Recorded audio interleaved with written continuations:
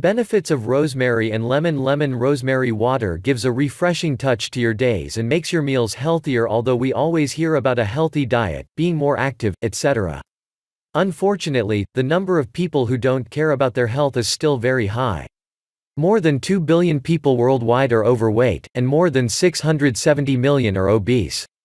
These numbers are also worrying excessive eating and weight gain, usually, associated with a daily stress crisis. And lemon rosemary tea can help you with that combining these two natural ingredients can lead to weight loss. Rosemary leaves fight nervous tension and control appetite and anxiety, especially during menstruation. Rosemary also reduces sugar absorption, forcing the body to look for other energy sources, such as fat, which may also lead to weight loss. Lemon acts as a detergent and dissolves toxins and fats. It also helps control appetite, binge and bloating.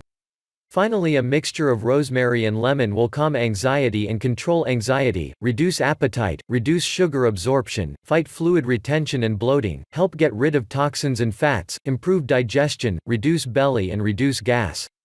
Learn how to make this tea now ingredients, 17 ounce. Water, 1 tablespoon of dried rosemary leaves, 1 lemon heat the water without boiling and add rosemary. Let it work for 5 minutes, then strain. Finally, squeeze the lemon over it and drink it.